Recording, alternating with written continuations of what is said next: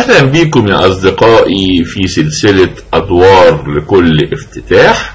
كل فيديو في هذه السلسلة هيكون فيه أحد الأدوار التطبيقية على افتتاح معين لكي تخدمك في استخدام الافتتاح أو الدفاع المفضل لديك لو كنت تريد الدراسة الجادة مع المتعة باستخدام محرك البحث جوجل وتكتب يوتيوب سلاش عصام حمودة ثم تضغط على رمز القناة وستكون فورا داخلها. انزل لأسفل حتى تجد قسم الافتتاحيات وتختار أفكار افتتاحيات الشطرنج. ستجد فيديو أفكار افتتاحيات الشطرنج مقدمة تمهيدية. هذا الفيديو هام جدا لكي تتعرف على ما هي أفكار افتتاحيات الشطرنج بصفة عامة وبعد أن تنتهي منه يمكنك المواصلة في رؤية الفيديو. والآن هيا نرى الفيديو. أهلا بالأصدقاء. ده الفيديو الأول في دفاع هندي الملك وحنرى تفريع بانو من دور بين بطلي العالم تيجران بتروسيان اللي حمل لقب البطولة من سنة 63 عندما اقتنصه من بوتفينيك حتى سنة 69 عندما سلمه إلى بوريس سباسكي. وسباسكي اتحدى بتروسيان مرتين الأولى سنة 66 واللي هنرى منها الدور العاشر وفاز بتروسيان في النهاية واحتفظ باللقب حتى جاءت سنة 69 وفاز باللقب سباسكي واحتفظ باللقب لمدة ثلاث سنوات حتى سلمه إلى الداهية الأمريكي فيشر في بطولة العالم الشهيرة 1972 وبتروسيان يعتبر أقوى لاعب دفاعي في التاريخ فهو صاحب المقولة لماذا أغامر بالتضحيات للفوز في عشرين نقلة؟ إذا كنت متأكدا من الفوز بعد خمسين. ولكن سنفاجأ في هذا الدور أن بتروسيان تحول إلى لاعب تكتيكي من الطراز الأول وفاز على سباسكي بتكوينة ولا أروع.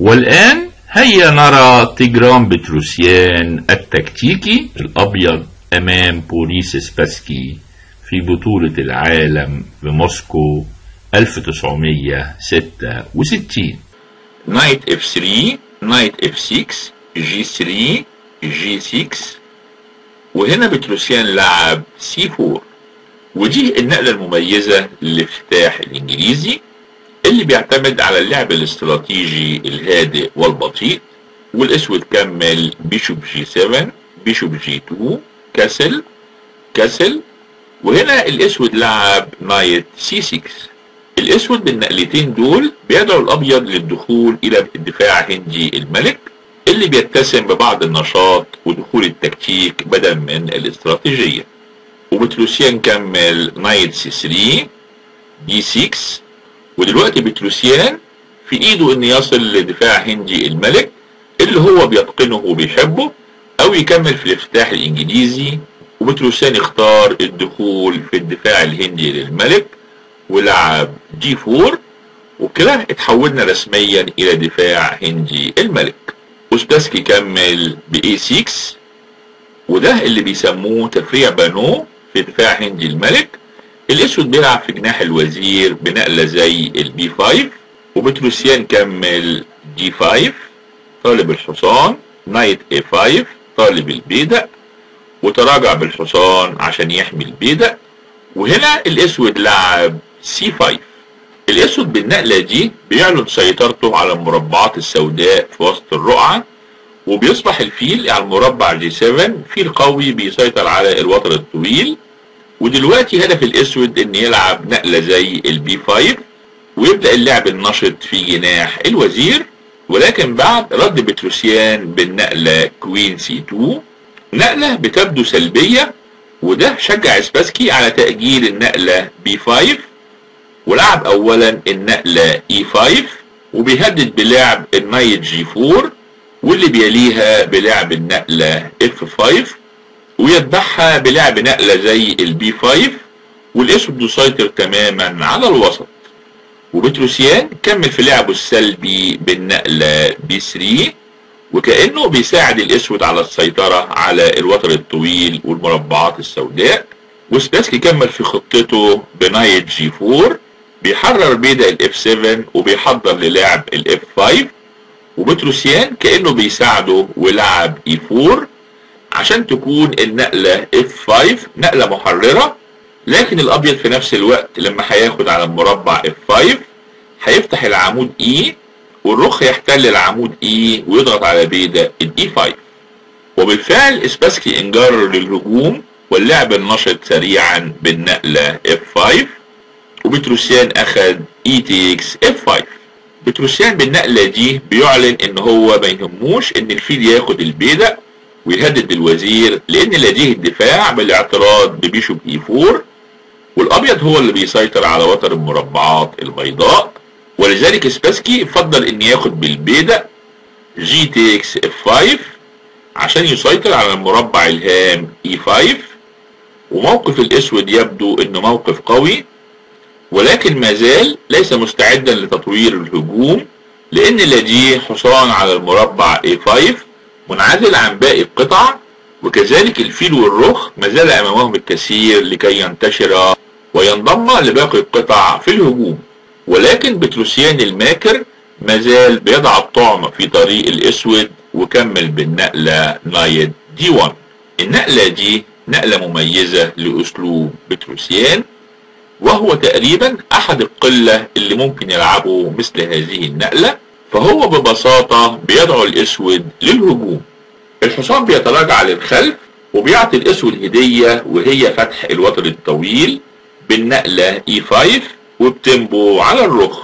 وفكرة بتروسيان إن هو عارف إن سباسكي بيطوب جدا للفوز في هذا الدور لأنه متأخر في النقاط الإجمالية بالنسبة للمباراة ولذلك بيدعوه للهجوم المبكر الغير ناضج واللي هيستثمره زي ما هنشوف في الوقت المناسب وهينقض على الملك وده لسبب بسيط وهو إن ما زالت ثلاث قطع للأسود بعيدة عن الاشتراك في اللعب وده اللي هيجهد هجوم الأسود سريعا والأبيض هينقض عليه زي ما هنشوف بعد قليل. على أي حال سباسكي أجل النقلة E5 وبدأ بالنقلة B5 بيفتح مربع لنشر الفيل أو ربما التراجع بالحصان والدخول في الدور ودلوقتي الأسود أصبح بيلعب لعب نشط في الجناحين بالنقلة B5 في جناح الوزير والنقلة F5 في جناح الملك. ومن المفترض إن بتروسيان يحاول يمنع النقلة E5 بنقلة بتعادلها على نفس الوتر الطويل مثلا زي البيشوب B2 لكن بتروسيان كان أرخى الحبل لسباسكي اللي هيشنق بيه نفسه وكمل بالنقلة الخبيثة F3 وبهذه النقلة بدأ بتروسيان الألعاب النارية. النقلة دي بتهدد الحصان وبتجبره على التراجع ولو تراجع هيغلق الوتر أمام الفيل ولذلك هذه النقلة بتحفز سباسكي جدا على بدء الهجوم بالنقلة E4 وبيفتح الوتر وفي نفس الوقت بيهدد بالأخذ على المربع F3 وهنا جاء رد بتروسيان المقنع وبدأت عملية خطف الأوتار. يا ترى إيه هي أول خطوة في هذه السرقة الكبرى؟ بتروسيان لعب ببساطة النقلة بيشوب بي2 وفجأة ظهر للفيل الأسود منافس على نفس الوتر وفجأة أيضا أصبح الحصان على المربع D 1 قطعة خطيرة بتساند الفيل وفي نفس الوقت بيهدد بالوصول للمربع E3 والاشتراك في الهجوم على الملك. E takes F 3 طالب الفيل Bishop takes F 3 ودلوقتي الأسود شاء أم أبى مضطر إن يكسر فيله القوي وكمل Bishop takes B 2 ودي هي العلامة الأولى لنجاح عملية الخطف لأن بعد Queen takes B 2 أصبح الوزير هو اللي بيسيطر على الوتر الطويل وتم خطف الوتر بنجاح. وهذا الوتر هيكون له الدور الأساسي والفعال في الفوز بالدور. على أي حال الأسود كمل ب Knight E 5 بيحاول يغلق الوتر أمام الوزير وفي نفس الوقت بيصوب على الفيل. والأبيض عارف إن فيله ذو المربعات البيضاء ده فيل قيم للغاية وهو اللي هيقوم بدور كبير في سبيل الوصول للملك. ولذلك تراجع للمربع E2 والأسود حاول يدخل فيله للعب وكمل F4 والفيل اتفتح أمام وتر هام بيؤدي في النهاية إلى الرخ الأبيض. وبتروسيان مازال بيعتمد سياسته الخبيثة في تحفيز الأسود للهجوم. وكمل بالنقلة G takes F 4 طالب الحصان. وسباسكي الأقل خبرة من بتروسيان انجر لهذه المعركة الغير متكافئة. وكمل Bishop H 3 طالب الرخ. ودلوقتي بالطبع الأبيض ما يقدرش ياخد الحصان ب F takes E 5 لأنها هتكون نقلة سيئة للغاية والأسود هيكمل سعيدا Queen G 5 check والملك هيضطر في النهاية إن يقتل المربع H 1 وهيتلقى ال checkmate من المربع G 2 ولذلك على الأبيض إنقاذ الرخ ولكن بتروسيان كان له رأي آخر يا ترى إيه هو؟ بتروسيان ترك الفرق ولعب Knight E 3 الحقيقة هذه التضحية بالفرق هيراها أساتذة الشطرنج تضحية منطقية بينما ربما المبتدئين ينبهروا بمثل هذه التضحيات لكن في الحقيقة بالتفكير المنطقي هيطلع إن Knight E 3 هي أفضل نقلة في هذا الموقف وإن الفيل الأسود عندما يختفي أمام الرخ بيزيد تفوق الأبيض وليس على العكس تأخره. وبالفعل قبل سباسكي التحدي وكمل bishop takes F 1 وبعد rook takes F 1 فيل الأسود المربعات البيضاء اختفى ومن هنا انتقل مركز القوة إلى فيل الأبيض ذو المربعات البيضاء. على أي حال الأسود حاليا حصانه متهدد ولذلك تراجع للمربع G 6 طالب بيدا ال F 4 وبتروسيان كمل في عملية اختطاف الأوتار بنقلة أخرى مفاجئة يا ترى إيه هي؟ بتروسيان ترك البيدة وكمل bishop G 4 وحاليا بيسيطر على الوتر الطويل لكن هو اللي يهمه إن يوصل للمربع E 6 ويصوب مباشرة على الملك الأسود ولذلك ترك البيدة في سبيل تحقيق هذا الهدف الاستراتيجي الأهم. ولا يوجد أمام سباسكي غير التقاط البيدة ولعب knight takes F 4 وفي مخيلته إن يبدأ في النقلة القادمة بتنشيط قطعه المهملة الحصان والرخ. لكن كل هذه الخطط تم تدميرها بنقلة واحدة من الأبيض. يا ترى إيه هي؟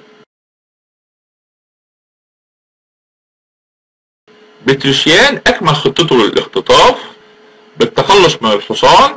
اللي كان بيحمي المربع E 6 ولعب النقلة البارعة rook takes F 4 وبكده بتروسيان بيضحي بالفرق الثاني لكن من هذه النقلة الأبيض رغم تأخره المادي إلا إنه هيفوز في كل التفريعات. على أي حال الأسود كمل مضطرا rook takes F 4 والأبيض أصبح مسيطر على وترين هامين في الرقعة. وكلاهما بيصوب ناحية الملك الأسود وبدأ الأبيض في عزف سيمفونيته النهائية. بنقلة ربما تكون منطقية للجميع لكن هترك لك بعض الثواني لكي تتأكد منها. الأبيض كمل بالنقلة المتوقعة bishop E 6 check ودلوقتي الملك لا يستطيع الذهاب غير للمربع F 8 ولكن في الدور اسباسكي كمل ب rook F 7 وبيعرض الفرق على بتروسيان لكن يا ترى ليه سباسكي بيضحي بالفرق؟ وما لعبش النقلة المنطقية king F 8 ده السؤال اللي عليك الإجابة عنه.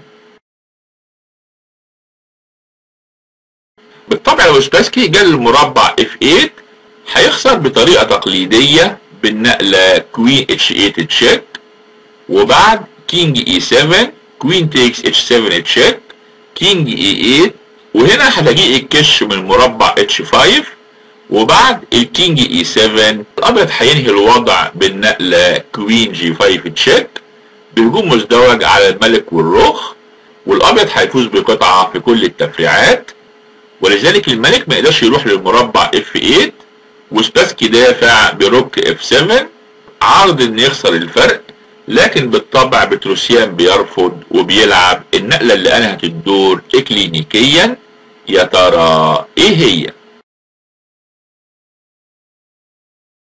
بتروسيان بيشعر إن الأسود عبارة عن جثة هامدة ولذلك لعب بكل بطء ولكن بكل دقة النقلة knight E 4 وفجأة أصبحت جميع قطع الأبيض قطع نشطة. الوزير بيسيطر على الوتر الطويل والفيل بيسيطر على الوتر المتجه للملك والحصانين في وسط الرقعة بيسيطروا على الوسط بينما القطع السوداء ما زالت مهملة على جانبي الرقعة. ولو الأسود حاول ينشط الرخ بنقلة زي ال rook E 7 بيحمي rook ال F 7 الأبيض هيكمل ببساطة knight F 5 طالب queen G 7 checkmate والرخ لا تستطيع التدخل لأنها مربوطة على الملك والدفاع الوحيد هو queen F 8 لكن هنا الأبيض هينهي الدور بالنقلة queen F 6 بيثبت القطعة السوداء وعنده التهديد الخطير ب knight H 6 check والأسود لا يستطيع الدفاع غير بتضحية الوزير والأبيض بيفوز.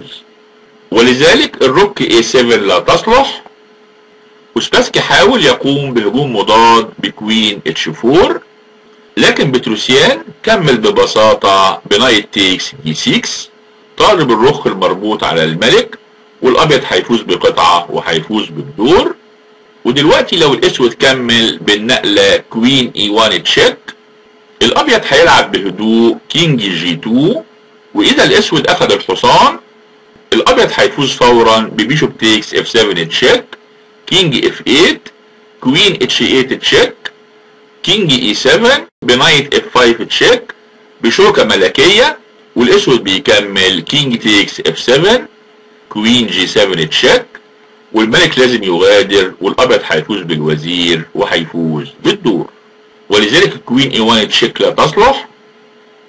وسباسكي يكمل ب queen g 5 check وبعد ال king h 1 الاسود لا يستطيع أخذ الحصان لأن هيحدث كما حدث في التفريع السابق ولذلك سباسكي ما اخدش الحصان إنما دافع بالنقلة الوحيدة وهي rook a 7 وبيحمي الرخ وهنا بتروسيان أنهى عملية خطف الأوتار بالنقلة bishop takes f 7 check وبعد rook takes f 7 جاءت النقلة التاريخية اللي أدخلت هذا الدور التاريخ.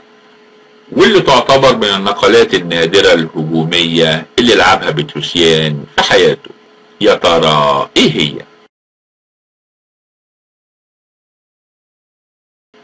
بتروسيان لعب أحد النقلات الشهيرة في تاريخ بطولات العالم ب queen h eight check بيضحي بالوزير. وهنا إسباسكي سلم. وإذا كنت وصلت لهذه النقلة اكتب لي مداخلة. ولك إهداء لكن هل تعلم لماذا سلم سباسكي؟ بالطبع جميعنا وصل للحل الصحيح وهو إن بعد king takes h 8 الأبيض هيلعب knight takes f 7 check بشوكة ملكية وهيفوز بالوزير وهيصبح متفوق بقطعة وكذلك عنده بيدق سالك بيتجه لمربع الترقية وهيفوز بسهولة الحقيقة دور من الأدوار التعليمية اللي ممكن نطلع منها بعدة دروس. أولا لا نهاجم وخاصة لو كنا باللون الأسود إلا بعد تعبئة القطع جميعا أو حتى الوصول للتوازن في الدور. وإذا أعجبك هذا الفيديو من فضلك سجل إعجابك واشترك في القناة وشارك بتعليقاتك.